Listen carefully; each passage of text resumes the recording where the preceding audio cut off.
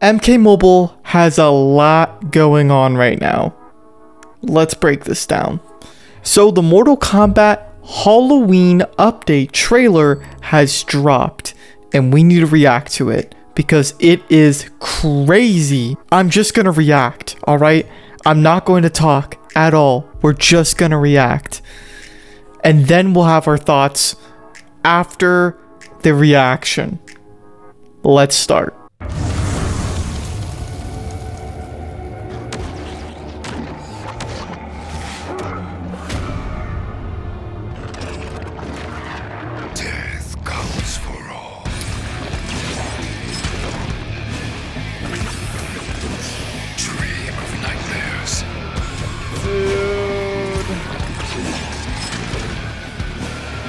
Needed a nightmare character so bad.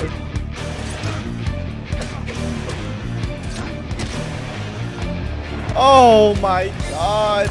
It's beautiful. It's perfect.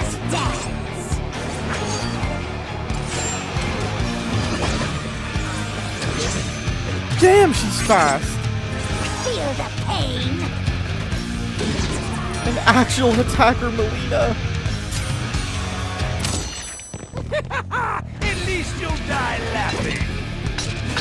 Yo, the cameo system's actually like with random characters. It's not even. It could just be anybody. Dude, Skarlet's friendship. And Noob Saibot. This one's smooth. A new stage?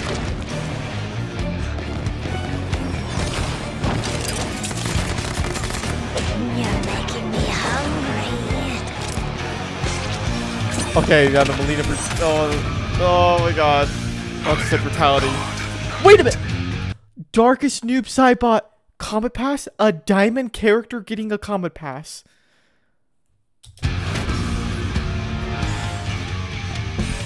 They're redoing Tower of War? Okay. Okay. Okay. Okay. There's a lot to unpack here. Okay. October 9th. That is in five days. What did that account name say? Evil made me. Imagine classic Liu Kang at fusion level 15. But we're going to break some stuff down here because this is going to be a lot to have to uh, go over. So firstly, Darkest Night Noob Saibot. What's my thoughts? I'm going to mute it because I'm going to be talking over this thing. But um I I think it it suits Mortal Kombat perfectly. I actually wanted a Batman Who Laughs Noob Saibot a long time ago, but I thought we missed our chance after uh, Lizard Noob Saibot was added. But we needed something dark or nightmare themed, and this is fine. Sure, it's not a nightmare character, and I'm a little sad by that, and especially because it's not Ghostface. But this character is frightening enough, and it's coming out at the perfect time.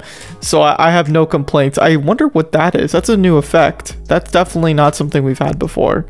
Uh, and then there's the new passive button for uh, Darkest Noob Saibot, which Master of Puppets.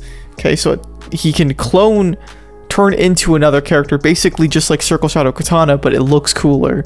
And then MK1 Mileena, god damn. Okay, my one gripe here. Why is she so pale? You guys, look at her skin tone on the character icon and then look at her in game.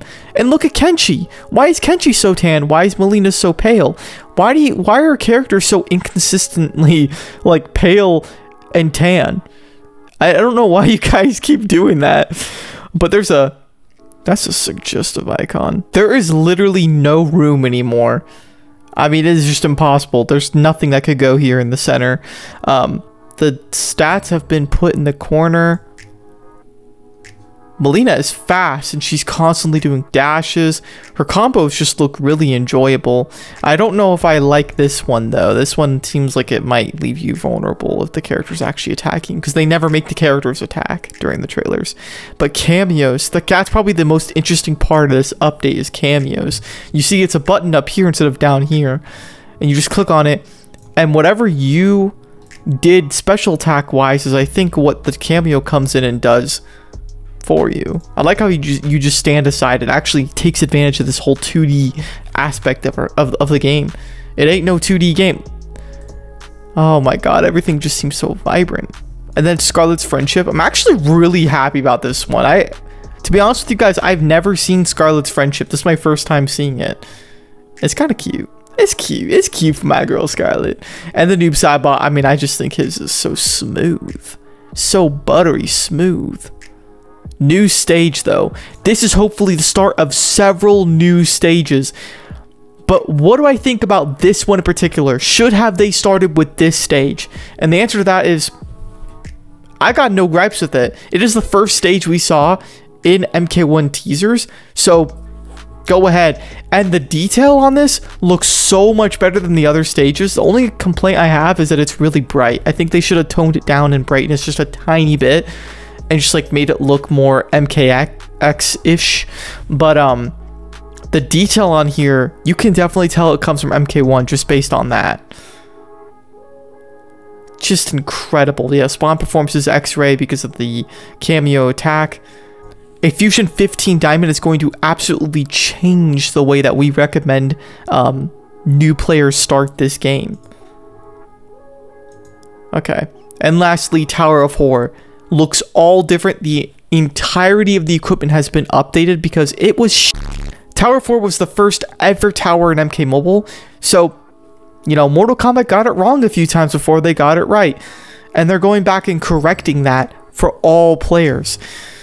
Uh, Tower 200 is probably going to be hell now. Actual hell. And I don't mean nightmare hell, I mean actual hell. If you look at Man's video, he actually got early access to view concepts on the new mechanisms in the game because they just give it to um, ambassadors. I'm no ambassador, so I didn't get those pictures. But I was having a look at his video, and there's a few things to note that I can share with you guys. Uh, Spawn's getting a buff, which is, well, we saw that one coming. Cameos are a card you have to collect. I think you can get them from game modes. So we have to see how that ends up uh, rolling out. So Cold Tower is going to return, but it's going to be with uh, a new rework. It probably going to be more difficult. And lastly, Elderwind Tower will be returning. And if you think firing the entire mobile team made an impact on MK Mobile, no, it did not. Now, keep in mind, we don't know how much in advance the mobile team got to work on updates before they all got laid off, supposedly. What if all this stuff is what they worked on?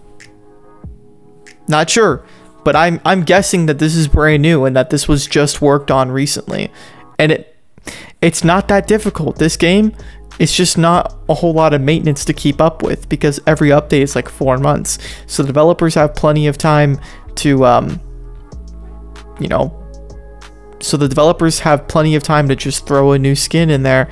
Uh, guys, I can't be more content. We have to actually see what happens with this update, but I'm looking forward to it. Thank you guys so much for watching. If you did enjoy, make sure to like and subscribe if you are new. And yeah, peace out.